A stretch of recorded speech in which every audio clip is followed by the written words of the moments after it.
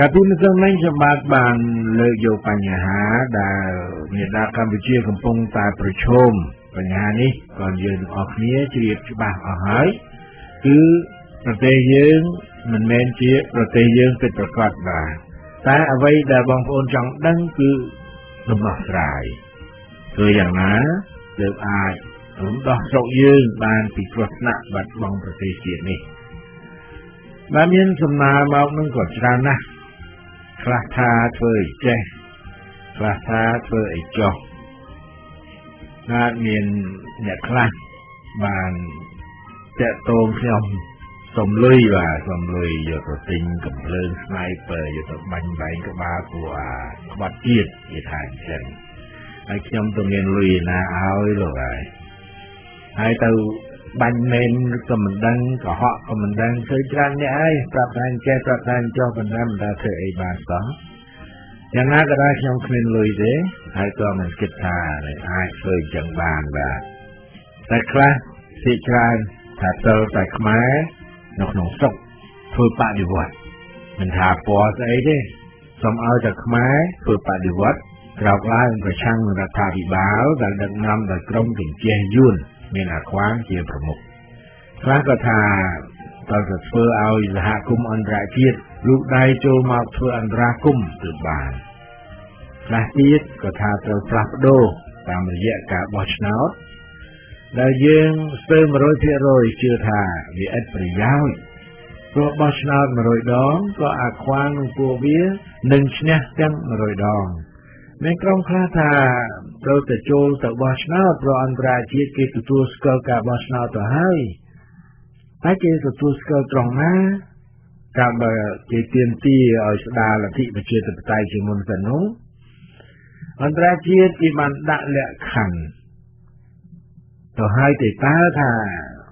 យ៉ាងណាយ៉ាងណាខ្លះនោះក្រោយមានការជាតិសង្កត់ពីក្រមខ្មែរឯនាយសមុទ្រផ្សេងផ្សេងរួមទាំង ចលនានិងអតីតគណៈបកសង្គ្រោះជាតិដឹកនាំដោយលោកសំរងស៊ីដែលក៏ទៅតែនឹងទៅជប៉ុនហើយនឹងឥណ្ឌូនេស៊ីមកសាមសាមីផងរឿងលក្ខខណ្ឌដែលអាខ្វាងចាំបាច់ត្រូវតែបំពេញមានច្រើនចំណុចបើអាខ្វាងវាយល់ព្រមធ្វើតាមខ្លះតែបដិសេធខ្លះតើខាងអ្នកប្រឆាំងនឹងយល់ព្រមទទួលទេក្នុងស្មារតីធ្វើសម្បទានអីគេនោះ ខ្ញុំថាកុំទទួលដាច់ខាតគ្រាន់តែរឿងគោជបមួយហ្នឹងក៏មិនអាចទទួលយកបានទៅហើយព្រោះសមាជិកភាពគោជបសប្តាហ៍នេះវាយួនទាំងដុលបាទអលនីនាមានស្ដាប់ជាទីគោរពរាប់អានវិធីធ្វើបដិវត្តផ្ដួលរំលំរដ្ឋាភិបាលចង្រៃរបស់ពួកអាកញ្ចេះយួនមិនងាយធ្វើបាននោះទេវាតើតែខ្មែរ ក្នុងស្រុកគ្រប់ស្រទាប់សង្គមចូលរួមធ្វើជាបដិវត្តអហិង្សានិងដោយដែលលោកបណ្ឌិតកាហ្វាពីងមេតលោកមានប្រសាសន៍គឺអសហការបានសេចក្តីថាប្រជាជនខ្មែរត្រូវឈប់ធ្វើសហប្រតិបត្តិការគ្រប់បែបយ៉ាងជាមួយនឹងទូអាខ្វាងដែលជាជនក្បត់ជាតិផ្ដាច់ការនិងជាចោរប្លន់យកអំណាច ពីប្រជាជនដើម្បីភាពមានបានទូធារបស់ក្រុមគ្រួសាររបស់វានិងបពពួកវាតែប៉ុណ្ណោះនោះតើធ្វើយ៉ាងណាទៅទៅបងប្អូនខ្មែរលោកឈប់សហការគឺអសហការជាមួយនឹងគណៈបកកាន់អំណាចបានបើគេស្ទើរតែទាំងអស់នឹងពឹងពាក់លើពួកអាចង្រៃនេះខណៈដែលខាងយើងមិនមានអ្វីប្រគល់ឲ្យពួកគាត់សោះក្រៅពីក្តីសង្ឃឹម និងពាក្យសន្យាថាអ្វីអ្វីដែលខុសឆ្គងនឹងមិនកើតមានទៀតឡើយបើសិនជា មានរដ្ឋាភិបាលថ្មីដែលស្នេហាជាតិមែនទេនោះ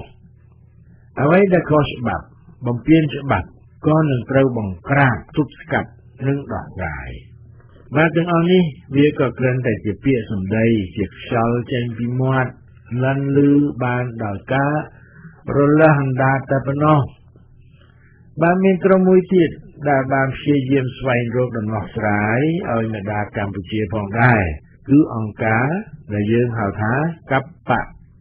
ពាក្យខ្មែរថាសំពិនខ្មែរដើម្បីកិច្ចព្រមព្រៀងសន្តិភាពក្រុងប៉ារីអំពីកម្ពុជា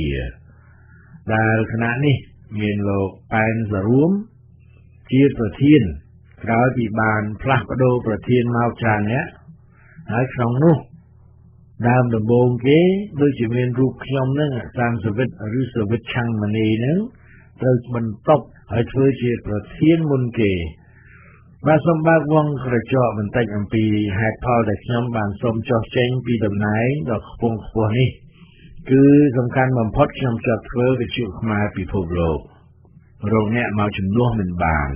ទោះជាមានអ្នកមកជំនួសខ្ញុំក៏គ្មានសមត្ថភាពទៅធ្វើប្រធានអីធំដុំចឹងទេ គ្មានសញ្ញាបត្រសញ្ញាឃើញថាជាបណ្ដុំបណ្ឌិតអីអវសមនឹងកិត្តិយសដ៏ខ្ពង់ខ្ពស់នេះបាទហើយហេតុផលមួយទៀតគឺខ្ញុំមានឈ្មោះជាសៀមទោះជាខំទាញស្នូសូសៀងពីឆាំងមនីមកជាជាងមនីឬជាងពេជ្រក៏ហើយនឹងក៏ដល់ទៅនៅតែស្ដាប់ទៅមិនមែនជាខ្មែរសោះ រីឯឈ្មោះសានសវិតគឺជាឈ្មោះដើមនៅស្រុកខ្មែររបស់ខ្ញុំ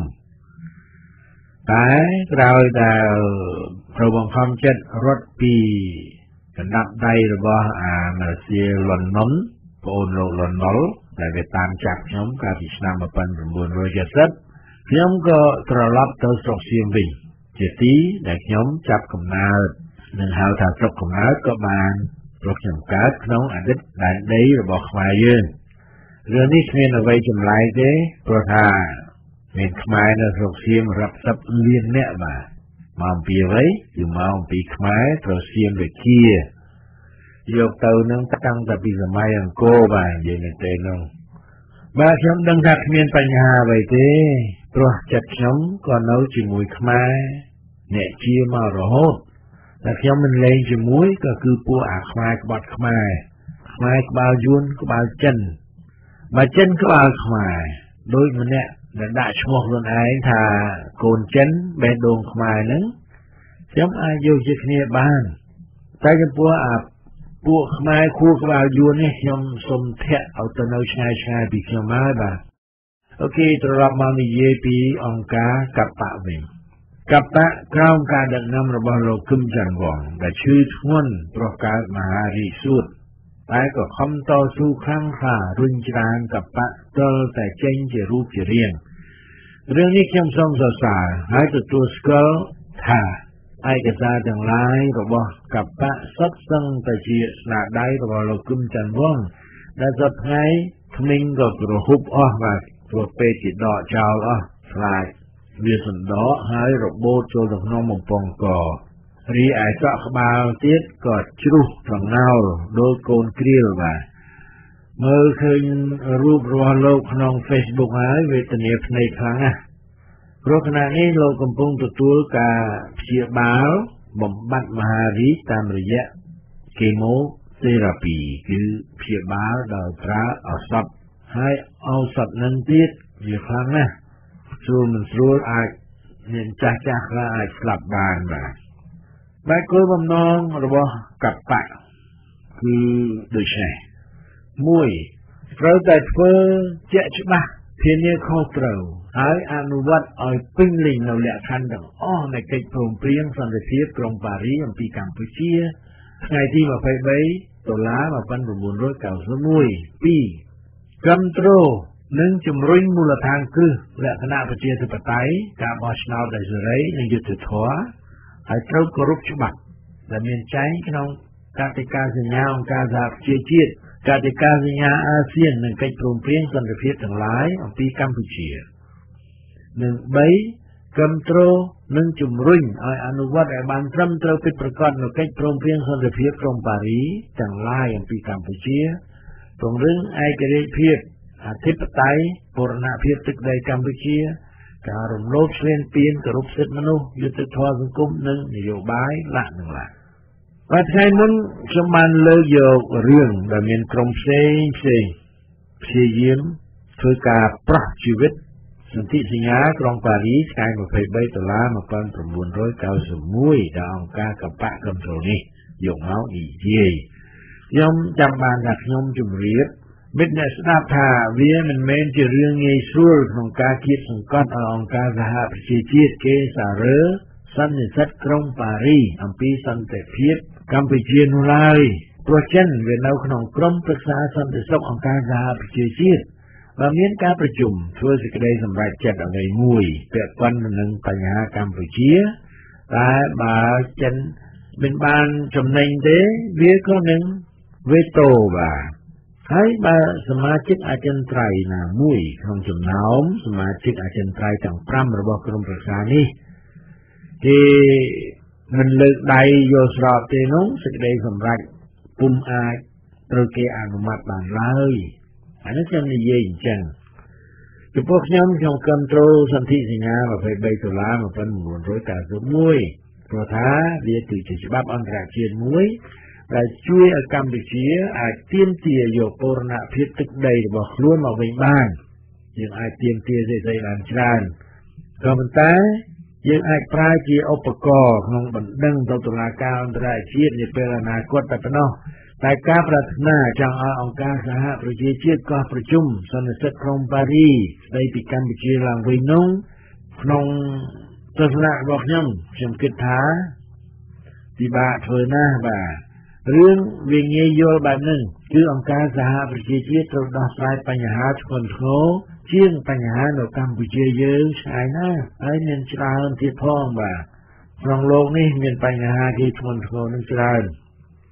បញ្ហារបស់ស្រុកខ្មែរសប្តាហ៍គេមិនចាត់ទុកថាជាបញ្ហាប្រឈមដែលគួរព្រួយបារម្ភនោះឡើយបាទដូច្នេះ យើងទៅរកយុទ្ធវិធីថ្មីទៀតអាហ្នឹងខ្ញុំស្នើខ្ញុំថាកបៈទៅធ្វើអីហ្នឹងมันបានប្រយោជន៍អីទេខាតតែពេលខាតតែលុយក៏ប៉ុន្តែគេចង់ធ្វើក៏ធ្វើទៅព្រោះវាធ្វើទៅថាជាទួនាទីរបស់គេទៅហើយបានបានជាខ្ញុំលើយករឿងកបៈមកនិយាយមកអធិប្បាយវែងឆ្ងាយព្រោះថាមានជនមួយរូបឈ្មោះចម្រើនមុំ គេបានសរសេរក្នុង Messenger បាទរិះគន់ខ្ញុំមិនមែនថារិះគន់មិនបានទេប៉ុន្តែខ្ញុំចង់បង្ហាញការពិតបាទគេសរសេរដូច្នេះតើសវិតនិយាយដោយអត់និយាយអញ្ចឹងខំនិយាយអួតពីក្រុមកបៈជួយផ្សព្វផ្សាយកបៈមានផែនការចេះផែនការចុះដល់ថ្ងៃនេះតាសវិតនិយាយថាទោះខំទៅអន្តងចិត្តអង្វរកអង្គការសហប្រជាជាតិ ឲ្យជួយក៏គ្មានប្រទេសណាគេជួយដែរមិនដឹងថាតាសវិតខំនិយាយកោកកោករាល់ថ្ងៃបានផលអីខ្លះហើយឬនៅតាសវិតល្មមឈប់និយាយទៅធ្វើសកម្មភាពជាក់ស្ដែងម្ដងមើលអាគេថាអញ្ចឹងបាទទាំងអស់គ្នាមានសិទ្ធិសេរីភាពក្នុងការបញ្ចេញមតិតែក៏មានសិទ្ធិនឹងធ្វើការជំទាស់ផងដែរខ្ញុំសូមជំទាស់ចំពោះសំណើរបស់ អ្នកនេះរបស់ដែលឈ្មោះចម្រើនមុំនេះឲ្យតាសុវិតធ្វើសកម្មភាពជាក់ស្ដែងព្រោះថាម្នាក់ម្នាក់វាមានទួនាទីផ្សេងគ្នាដូចខ្ញុំអញ្ចឹងឲ្យវីយ៉ូឡុងមួយមកឲ្យឲ្យឡើងទៅកូតឲ្យគេស្ដាប់ហ្នឹងតើវាទៅជាចម្រៀងឬខ្ញុំអត់មានជំនាញខាងតន្ត្រីទៅអត់រួចឬក៏ទៅប្រាប់អត់ខ្វាង ឲ្យវាទៅនិយាយអង់គ្លេសនិយាយបារាំងជាមួយនឹងមេដឹកនាំទាំងឡាយតើវាទៅរួចទេក្រៅពីអង្គុយចុចអឺ like មិន like ឬស្អីមើល Facebook ហ្នឹងម្នាក់ឯងបាទនៅពេលគេប្រជុំម្ដងម្ដងគេនិយាយគ្នាអស់តែអាខ្វាងវាមិនអាចទៅនិយាយជាមួយគេបានដូច្នេះតាសវិតក៏ចេះតែកោកកោកអីចឹងព្រោះគេសុំឲ្យបន្តកោកកោកឲ្យគេស្ដាប់ ខ្ញុំខំធ្វើការអត់ដេកអត់ពួនសពថ្ងៃក៏ព្រោះតែមិត្តអ្នកស្ដាប់មិនចូលខ្ញុំថាចូលចិត្តស្ដាប់ណាស់បើគ្មានមិត្តអ្នកស្ដាប់ខ្ញុំនៅស្ងៀមស្ងៀមឬក៏ដេកអោភេរីយលអជាងសប្តាហ៍នេះគ្មានពេលយកចិត្តយេអាធីមនីផងហ្នឹងតើមានផ្លូវគណៈបកសង្គ្រោះជាតិបានចូលរួមក្នុងការបោះឆ្នោតលើនេះដែរឬទេតើការបោះឆ្នោតនេះ នឹងមានលក្ខណៈត្រឹមត្រូវសេរីនិងយុត្តិធម៌អាចទទួលយកលទ្ធផលបានដែរឬទេជាសំណួរដដែលដដែលខ្ញុំគិតថាចម្លើយយើងឃើញច្បាស់ហើយថាសូន្យហើយយើងឃើញថានាយករដ្ឋមន្ត្រីបដិការហ៊ុនខ្វាងបានដើរ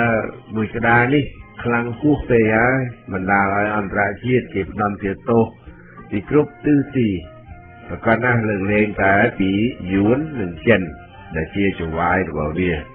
ហើយនៅមានលោកបង Ninja Samurai Honda Isuzu គឺជាប៉ុនមួយទៀតដែលនៅរក្សាជំហរចិនទូកពីរមិនជាសត្រូវខ្លាំងតែក៏មិនដំណើរការដែលវាយក្បាលអើខ្នងដូចគ្នានឹងអូស្ត្រាលីដែរនោះដែលជាជំហរ មិនពិតប្រកបថាចង់យកល្មិចអូវមែនទេចំពោះដំណើរការហួសហេតុរបស់រដ្ឋាភិបាលមានតែអញនៅភ្នំពេញនោះហើយខ្ញុំក៏ខំតែអដែលមានពាក្យចចាមអារាមថាខ្វាងវាចាប់កុនយួនហាណូយប្រហែលជាវាត្រូវចាប់ដាក់គុកឬចាក់ស្នាមសម្លាប់ដោយពួកសូវៀតវាសម្លាប់មេដឹកនាំមុនមុនចោលអីចឹងនោះហើយ បានវើតអើទាំងអស់នោះគ្រាន់តែជាផ្នែកមួយនៃបណ្ដាញ fake news ដែលធ្វើឲ្យខ្មែរច្របូកច្របល់តែប៉ុណ្ណោះបាទបាទខ្ញុំធ្លាប់ជម្រាបហើយថាយួនវាចង់ធ្វើអ្វីអាខ្វាងវាក៏អនុញ្ញាតឲ្យធ្វើយួនវាបញ្ជាឲ្យអាខ្វាងធ្វើអ្វីអាខ្វាងវាក៏បំពេញតាមបញ្ជាយួនឲ្យទៅអោបជើងចិនអាខ្វាងក៏ ទៅអោបជើងចិនទាំងនេះព្រោះថាការចូលចិត្តចិនលេចគូបចិនរបស់ខ្វាងបានលុយមកទៅចែកគ្នាទេបាទវាសុំលុយហើយនឹងខ្ចីលុយពីចិនមកកសាងផ្លូវថ្នល់ទាំងទំនប់វារីអគិសនីអគិសនងនៃវានោះគឺទាំងអស់ធ្វើទុកសម្រាប់ឲ្យយួនព្រោះយួនវាច្បាស់ជានឹងមកយកស្រុកខ្មែរយើងហើយ នៅមានហេតុផលអីដែលយួនត្រូវផ្លាស់អាហ៊ុនសែននេះចេញហើយយកអាកលាផោមសខេចូលមកជំនួសវិញមែនអ្នកខ្លះគេថាអាចនឹងយកសំរងស៊ីចូលមកជំនួសផងយ៉ាងទៀតបើយួនវាចង់សម្លេះអាខ្វាងវាចាំបាច់អីហៅទៅដល់ហាណូយទៅស្រុកយួននោះឲ្យកូនចៅវាដាក់តាមមួយឈុចទៅនៅឯផ្ទះវា រឿងអាខ្វាងក៏ខ្លាយទៅជាអតីតទៅហើយបាទដើម្បីបង្ហាញថាយួនពុំគិតកម្ចាត់អាយ៉ងដ៏សំខាន់របស់វាមួយនេះអានាយករដ្ឋមន្ត្រីខុនឆាង របស់យួនគឺអាងៀងស្វឹងហ្វឹកបានតាមមកពីហាណូយរហូតដល់សៀមរាបកាលពីម្សិលមិញដើម្បីបញ្ជាក់ពីមិត្តភាពរវាងចង្វាយនិងបាវ បាទនៅមើលទៅការវាប្រហារខ្វាងដោយពាក្យសម្ដីនិង fake news ឬព័ត៌មានខ្លាំងខ្លាយអត់មានបានផលអ្វីទៅសោះបាទនេះគ្រាន់តែជាវិភាគទាន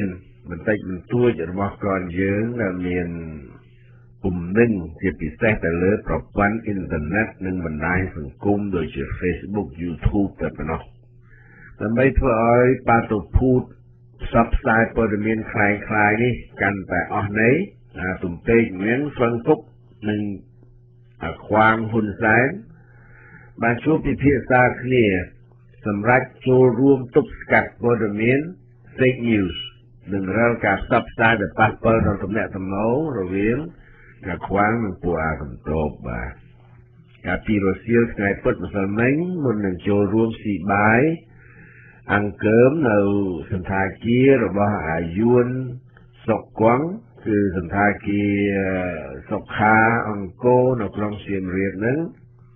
អាពីរអ្នកចវាយហើយនឹងជញ្ជះវិញហ្នឹងក៏បានចរចាគ្នាពីរឿងអស់នោះបាទបាទយោងតាមកសែតភ្នំពេញប៉ុស្តិ៍សាលាដំបងក្រុងភ្នំពេញបានកោះហៅលោកសំរងស៊ីអ្នកស្រីជូឡុងសូមរាលោកអេងខេអៀង លោកហូវ៉ាន់លោកលុតរំដួលនិងលោកតុកវ៉ាន់ច័ន្ទឲ្យទៅបង្ហាញខ្លួននៅមុខតុលាការឆ្លើយតបនឹងការចោទប្រកាន់ថាអ្នកទាំង6មានផែនការចង់ផ្ដួលរំលំរដ្ឋាភិបាលការចោទប្រកាន់នេះនឹងខុសពីករណីចោទប្រកាន់ទៅលើគណៈបកសង្គ្រោះជាតិកាលពីខែវិច្ឆិកាឆ្នាំថ្មីដែលនាំទៅដល់ការរំលាយគណៈបកប្រឆាំងនេះចោលហើយតែការនេះ បានធ្វើឲ្យក្រុមអាខ្វាងត្រូវផ្ដំជាទោសយ៉ាងទូលំទូលាយថាគណៈបកកាន់អំណាចបានកម្ចាត់ចោលនៅគូប្រជែងសំខាន់តែមួយរបស់ខ្លួននៅក្នុងការបោះឆ្នោតជាង3ខែខាងមុខនេះបានទីការកោះហៅខ្លួនចេញដោយព្រះរាជអាជ្ញាចិញ្ចះអាខ្វាងលៀងសុក តម្រូវឲ្យអ្នកទាំង6មកឆ្លើយនឹងសំណួរថាហេតុអ្វីបានជាបង្កើតចលនាសង្គ្រោះជាតិដែលជាការញុះញង់ឲ្យមានចលាចលក្នុងសង្គមប៉ះពាល់ដល់សន្តិសុខជាតិនិងព្យាយាមផ្ដួលរំលំរដ្ឋាភិបាលស្របច្បាប់របស់កម្ពុជា បាទសំមុខហើយសម្រាប់លោកសំរងស៊ីដែលជាអ្នកចង់ផ្ដើមធ្វើឲ្យរដ្ឋាភិបាលចៅមួយនេះស្របច្បាប់កាលពីឆ្នាំ2014នោះបាទ គួរឲ្យចម្លែកដែរដែលអ្នកស្រីមូសុកហួរពុំមានឈ្មោះនៅក្នុងនោះណាគេចោទតែ6នាក់មូសុកហួររួចខ្លួនខំរត់ចោលស្រុកបាទសំណាងល្អដែលអ្នកទាំង6ពុំមានអ្នកណាមានវត្តមាននៅស្រុកខ្មែរព្រោះអាចនឹងត្រូវចាប់ដាក់គុកដោយលោកកឹមសុខា ខាងអេងចៃអៀងបានបដិសេធថាលោកគ្មានបំណងផ្ដួលរំលំរដ្ឋាភិបាលនោះទេព្រោះចលនានេះជាចលនាអហិង្សាព្រមតែទាមទារឲ្យដោះលែងលោកកឹមសុខានិងបកលសង្គ្រោះជាតិឲ្យប្រជាពលរដ្ឋខ្មែរវិញតែប៉ុណ្ណឹងលោកសំរងស៊ីបានប្រាប់ភ្នំពេញប៉ុស្តិ៍ថារឿងនេះអាចជាប្រឌិតកម្មថ្មីមួយទៀត របស់ពួក CPP ដែលមានជំងឺសរសៃប្រសាទខ្លាចលេចខ្លាចកើតជុំវិញខ្លួនយ៉ាងធ្ងន់នោះបាទយើងដឹងទាំងអស់គ្នាអស់ហើយថាចលនាសង្គ្រោះជាតិនេះលោកសំរងស៊ីនិងពួកមេមេគណៈបកសង្គ្រោះជាតិអតីតគណៈបកសង្គ្រោះជាតិខាងលោកសំរងស៊ី ព្រោះថាសង្គ្រោះជាតិនឹងបែកជាពីរក្រុមបាទក្រុមលោកកឹមសុខាក្រុមលោកសំរងស៊ីដូចទឹកនឹងព្រេងអញ្ចឹងអត់ចូលឲ្យចោះទេមិនដឹងជាស្អីទេឡាយក្រុមរបស់លោកសំរងស៊ីបានបង្កើតចលនាសង្គ្រោះជាតិនឹងនៅ Long Beach កាលពីដើមឆ្នាំនេះដោយប្រហែលជាគិតថា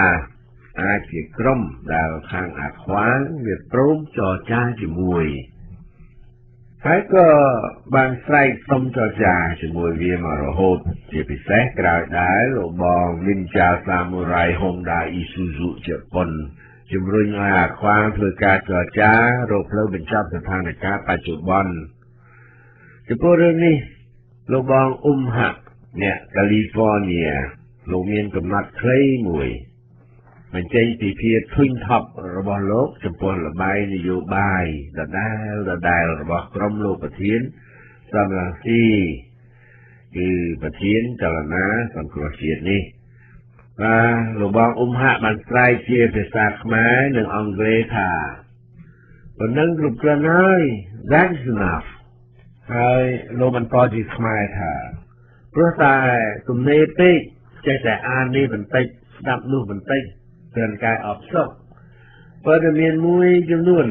ឲ្យដឹងថាប្រធានអ្វីដែលគេដាក់ឈ្មោះថាចលនាសង្គ្រោះជាតិរួមជាមួយអ្នកហែហមប្រឹងប្រែងទាមទារលក្ខខណ្ឌមួយចំនួនរួមមាន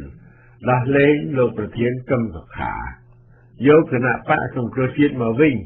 យកទាំងមូលឬយកបណ្ណាសំណួរនៅក្នុងវងកញ្ចក់បាទឲ្យដោះលែងអ្នកទោសនយោបាយទាំងអស់ ឲ្យបោះឆ្នោតត្រឹមត្រូវនឹងយុត្តិធម៌ឲ្យបណ្ដាញព័ត៌មាននឹងឯករាជ្យសង្គមស៊ីវិលនិងកោជបក៏ឯករាជ្យមិនលឺសូបញ្ញៃស្អីលើពីនេះផងទេឆ្ងល់ថាបើហ៊ុនសែនព្រមទទួលជាគោលការណ៍លក្ខខណ្ឌប៉ុណ្ណឹងតើអស់លោកនឹងចូលរួមបោះឆ្នោតខែកក្កដាឆ្នាំ2018ខាងមុខនេះឬ បានប៉ុណ្ណឹងគ្រប់គ្រាន់សម្រាប់អស់លោកហើយឬតើអស់លោកបានរៀនស្អីខ្លះអំពីវប្បធម៌សន្តានាឆ្នាំ2014ជាមួយនឹងពួកកុម្មុយនីឬអស់លោកមិនទាន់ជឿថាបកប្រជាជនជាបកកុម្មុយនីអស់លោកដឹងខ្លួនទេថាកាលពី2014អស់លោកកាញ់កលគេទៅទឹកស្លាប់ បំព្រួយរឿងវែងឲ្យខ្លីអន្តរជាតិកំពុងធ្វើសម្ពាធរដ្ឋាភិបាលហ៊ុនសែនឲ្យដោះលែងកឹមសុខាប្រធានគណៈបកសង្គ្រោះជាតិឲ្យមកខៈសាលក្រមតុលាការកម្ពុជារឿងរំលាយគណៈបកសង្គ្រោះជាតិឲ្យដោះលែងអ្នកទោសនយោបាយទាំងអស់ឲ្យប្រគល់គណៈបកនេះ ទៅម្ចាស់ដើមវិញ ព្រមទាំងសងនៅអ្វីអ្វីដែលហ៊ុនសែនបានប្លន់រួមមានសមាជិកសភា55និងក្រុមប្រឹក្សាឃុំសង្កាត់5007នាក់ផងតាមយោបល់ខ្ញុំប៉ុណ្ណេះត្រឹមតែជាលក្ខខណ្ឌតិចបំផុតមុននឹងចាប់ផ្ដើមចរចាជាមួយនឹងកុម្មុយនីសហ៊ុនសែនខ្ញុំជឿថាហ៊ុនសែនមិនត្រឹមតែជួលក្បាលក្រពើប៉ុណ្ណោះទេ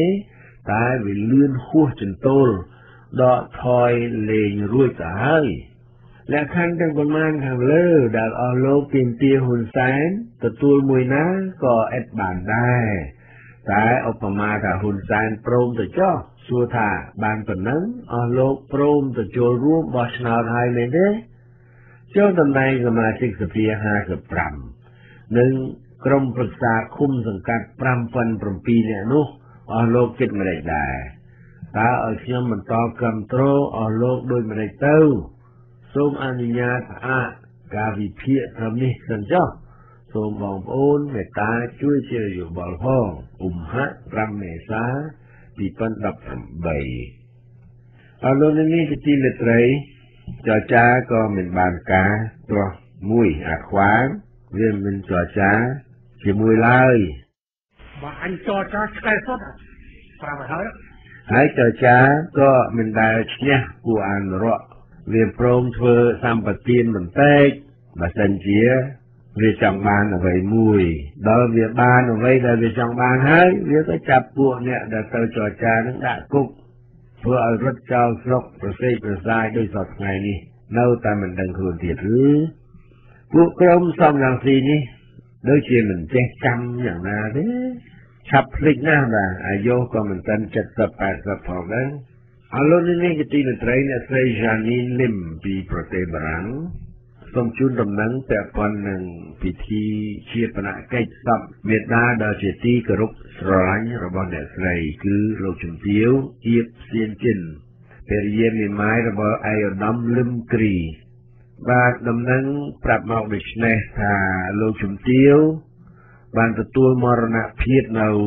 ក្រុងប៉ារីខណៈដែលសម្រានលក់កាលពីរាត្រីថ្ងៃទី31មីនា2018ក្នុងជននាយុ95ឆ្នាំបាទអ្នកស្រីលឹមកេតទីនីនិងស្វាមីលោកលីឆៃហៀងព្រមទាំងបុត្រធីតានិងចៅចៅអ្នកស្រីលឹមស៊ីវណ្ណានិងស្វាមីលោកបៃឈើយ ព្រមទាំងបុត្រធីតានិងចៅចៅលោកលឹមសវណ្ណេតនិងភរិយាអ្នកស្រីជួនមូលីថានិងកូនកូនអ្នកស្រីលឹមសានីននិងស្វាមីលោកអ៊ិតថាវុតព្រមទាំងបុត្រធីតាអ្នកស្រីលឹមវីលីននិងស្វាមីលោកគិនសៀងហូព្រមទាំងបុត្រធីតាមានសេចក្តីទុកក្រៀមក្រំជាអនេក ចំពោះការបាត់បង់មេដាលោកយាយនិងយាយទួតដ៏ជាទីគោរពស្រឡាញ់នេះហើយសូមអញ្ជើញលោកអ្នកនាងជាញាតិមិត្តជិតឆ្ងាយទៅចូលរួមពិធីជាបណកិច្ចដែលនឹងរៀបចំធ្វើនៅថ្ងៃអង្គារទី10មេសានៅម៉ោង10កន្លះព្រឹកវាជាបណដ្ឋាន Crématorium de Père Lachaise, 71 rue des Rondeaux à 7501 Paris. Métro Gambetta, ligne 3 et 3 bis. Bus Gambetta, numéro 102 et 69 ou Rami, numéro 26. ចំពោះពិធីខាងពុទ្ធសាសនានឹងប្រារព្ធធ្វើនៅថ្ងៃពុធទី11មេសា2018ចាប់ពីម៉ោង9កន្លះព្រឹកនាវត្ត ខ្មែរពោធិវង្សចង់ជឿម៉ានសូមអរគុណបាទបាទខ្ញុំសូមចូលរួមមរណទុកនេះផងបាទអរលោកនាងមានស្ដាប់ជាទីគោរពរាប់អានមុននឹងជម្រាបលាថ្ងៃនេះខ្ញុំសូមជម្រាបបន្ថែមបន្តិចអំពីដំណើរការនៃគម្រោងបរិយអង្គរបាទគម្រោងនេះចាប់ផ្ដើមឡើងនៅថ្ងៃទី11ខែកក្កដាឆ្នាំ2012 មកទល់ពេលនេះពេលវេលាក៏កន្លងទៅបាន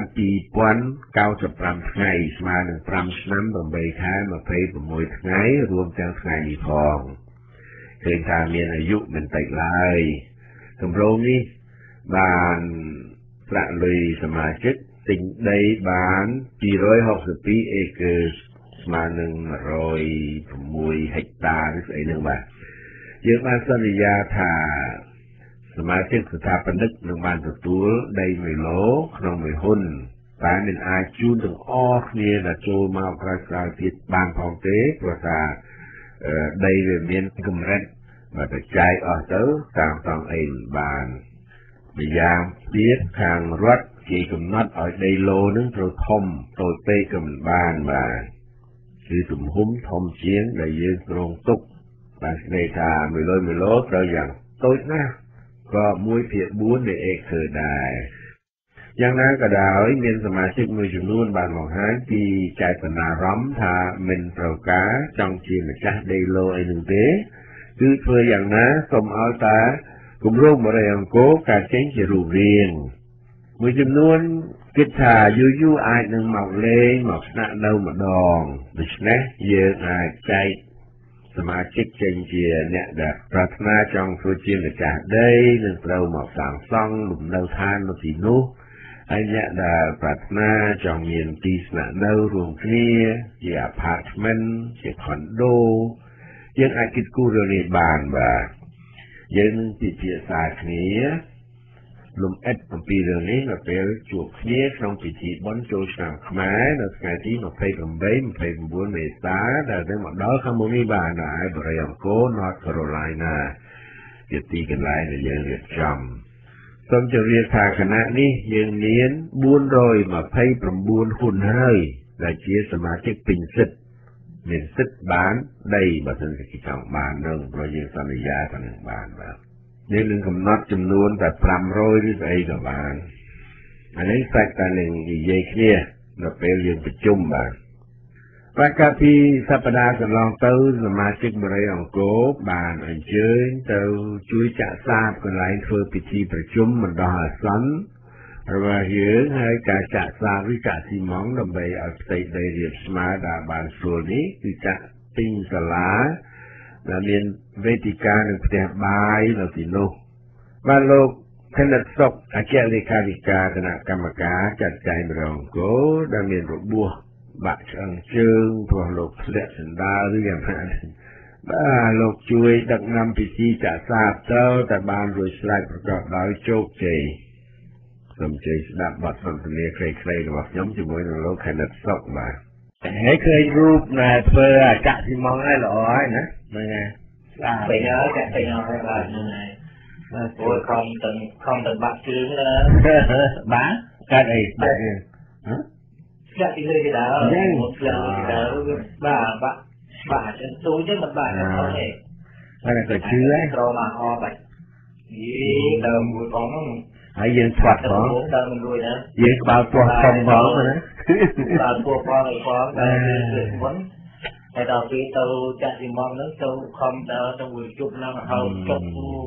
វេទនាតែលោកនៅនៅទៅហៅចឹងលោកនៅហៅអូខេចាំចាំជូនមេដៃក្លាហានឲ្យណាមេដៃ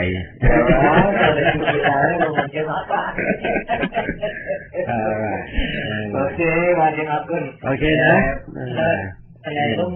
ថ្ងៃនោះយើងបានមនុស្សយើងមកនោះបានជាមកពីដែរហើយអឺឃើញច្រើនណាស់ណាបានយើងចាប់ហើយបានហើយហើយលុយហ្នឹងអស់ប្រមាណទៅនៅសល់ខ្វះប្រមាណទៀតអីហ្នឹងគឺយើងរកបាន3600អញ្ចឹងណាអានេះលុយដែលពីសន្យាទៅឲ្យយើងណាបាទយើងចាយនោះវាអស់5200បាទតែនេះយើងនៅពេលចូលឆ្នាំចាំយើងប្រកបប្រការបងប្អូននៅជួយ23ហ្នឹងហើយយ៉ាងមកដើម្បីគ្រប់អា គ្រប់អាពេលដែលជាពាក់គេហ្នឹងសំរំចាស់ដល់វាវិញហើយព្រោះនេះគឺឲ្យការប្រើថ្ងៃនោះបើយើងមិនកម្មទុកអានេះថ្ងៃទៀតបើយើងទុកនោះអត់មានពេលអឺអានេះមិនជាផ្នែកមួយរបស់ចូលឆ្នាំដែរហ្នឹងហើយខ្ញុំបាន360ដែរណាខ្ញុំមាន360នៅនេះដែរអូខេអូខេបាទខ្ញុំចូលចូលនេះដែរយើងបាននេះគឺយកមកចូលប្រើទីនេះចូលទុកទល់ហ្នឹងក៏រឿង តែទីនេះយើងបានត្រៀមសូមបងប្អូនឲ្យជួយមហោមហាទៅទៅពេលយ៉ាងហ្នឹងដល់គេជួយយើងអូខេហើយបាទចាស់ចាស់តែចាស់តែរងហ្នឹងក៏គេជួយយើងអូខេហអឺហើយយើងនិយាយទៅថ្ងៃតបយើងមកដល់ជួងនេះហើយតន្ត្រីនោះមិនទៅតន្ត្រីវងតន្ត្រីយកពីណាបាទបាទយើងចូលពីការឡុតហ្នឹងដែរយកចោលណា អឺបាទប៉ុន្តែអីទេអានឹងវងតន្ត្រីយើងមិនជាបញ្ហាទេណែដែរក៏ប៉ុន្តែអានឹងយើងផ្លូវពីឆ្ងាយពីរកតាមជួងនេះបានគេយ៉ាងណាហើយខៃលីណាហ្នឹងមកទេខៃលីណាមានប្រាប់គេទេអអឺ ប្រាប់គេនៅយើងជួបគេផ្ទាល់ទៅពីណាឯងខ្ញុំទៅផ្ទាល់ដែរជួបទៅប្រាប់គេទៅមកប្រាប់ទៅប្រាប់អីទៅយើងណាគេថាចាំមើលសិនបងបើគេទំនេរព្រោះឥឡូវនេះគេធ្វើការ construction អឺហើយតែជាទីរវល់ប៉ុន្តែបើថាគេស្ទាបមកបានគេមកប៉ុន្តែតាមមើលអាម៉នវាច្រើនទីទៀងព្រោះពួករត់ណាគេមកច្រើនណាស់ណាយ៉ាងណាបាទតាមពួករត់ណាគេមកលេងហើយយើងថាបានរបាំតែមកបានទេឥឡូវនេះព្រោះតួរបាំហ្នឹងបានអឺ បានទទួលមរណៈទីវិញអាយុ17ឆ្នាំហើយចាប់តែគេឆ្លាប់ទៅចឹងកាត់កាត់អីកាត់មិនទៅយ៉ាងញ៉ាំមិនដឹងដែរតែតែមួយទឹកមួយទឹកហើយបងគេគេទៅលេងមើលបណ្ដោយអញ្ចឹងណាបាទលេងអាយុ17ឆ្នាំហ្នឹងហើយដល់ទៅបាទតែដល់ចឹងមកក្រុមភ្លេងហ្នឹងគេហ្នឹងហើយកាន់ទុកទៅណាគេគេគេហ្នឹងហ្នឹងហើយអូខេOK OK OK ប៉ុន្តែនេះយើងធ្វើកម្មវិធីយ៉ាងណាកម្មវិធីផ្សេងបាទ អឺយើងខ្វះកម្មវិធីគាត់បាទ OK ហើយចឹងមិនតែចាំខ្ញុំជូនដំណឹង OKបាទមុននេះជម្រាបលាខ្ញុំសូមអរគុណលោកក្មួយវុទ្ធស៊ីព្រំពី Addison រដ្ឋ Illinois ដែលបានផ្ញើប្រាក់តាម PayPal មកជួយគ្រប់គ្រងវិទ្យុខ្មែរពិភពលោកសម្រាប់ខែ មេសាអរគុណបាទអរគុណហើយខ្ញុំក៏សូមអរគុណលោកសេងសារៈនិងអ្នកស្រីហូសុខាពី Wheeling រដ្ឋ Illinois ដូចជាដែរនេះដែលបានផ្ញើខ្សែ40ដុល្លារមកជួយគ្រប់គ្រងវិទ្យុយើងសូមអរគុណលោកនិងអ្នកស្រីយ៉ាងជ្រាលជ្រៅបាទខ្ញុំសូមជម្រាបផងដែរថាកាលពីខែមីនាកន្លងមកនេះយើងបានទទួលប្រាក់ជួយទ្រទ្រង់ទាំងអស់396ដុល្លារដែលចាត់ទុកថាទាបខាងណាបាទ មិនក្រាន់ប្រើតែក៏សូមអរគុណដែលលោកនាងមេត្តាជួយមកបាទបងធំកោះធននៅសានហូសេដែលជួយមក21ដុល្លារនៅពេលស៊ីវឈៀងអ្នកស្រីប៉ាងជូននៅ Rancho Palos Verdes ជួយ30ដុល្លារសម្រាប់ខែមីនាអរគុណបាទ អ្នកស្រីគឹមយ៉ាសាជួយ50ដុល្លារសម្រាប់ខែមីនាអ្នកគ្រូសុផានីបៃ20ដុល្លារដូចគ្នាដែរអឺលោកហាប់ឡាយនៅស្រីស្រាក់អឿពី Maryland 100ដុល្លារសម្រាប់វិទ្យុនិង100ដុល្លារសម្រាប់សាំងប្រវត្តិលបងលាវชัยហៀតពី Orange California 25ដុល្លារសម្រាប់វិទ្យុនិង25ដុល្លារសម្រាប់សាំងប្រវត្តិហើយ Hij loopt Malta, een periën, het wij Candida, Joy de Chu Maro de La, een Tansavet Hasab de La, loopt Mirata, dat je kooi, ช่วยสร้างสัมดาลาสำหรับเป็นชุใครที่ดาช่วยเสียขโมยได้มาไปดาลาสำหรับเป็นชุบ้านเรียกบางมาแบบนึงก็สำหรับใบร้อย 96ដុល្លារចំពោះរូបខ្ញុំមិនរអួយទេខ្ញុំបាន175ដុល្លារដែរសម្រាប់ផឹកកាហ្វេបាទអរគុណអរគុណច្រើនចំពោះមិត្តអ្នកស្ដាប់ដែលជួយបាទដែលជួយវិទ្យុយើងប្រោះតែស្រឡាញ់រាប់អានអត់មានអ្វីអត់មានអ្នកណាបង្ខំឲ្យលោកអ្នកនាងជួយគ្រប់គ្រងវិទ្យុនេះឡើយក្រៅតែពីទឹកចិត្តស្នេហាជាតិហើយនឹង ស្រឡាញ់រាប់អានចង់ឲ្យវិទ្យុនេះបន្តជីវិតតទៅទៀតតែប៉ុណ្ណោះបាទអរគុណហើយក៏ជម្រាបលាបាទ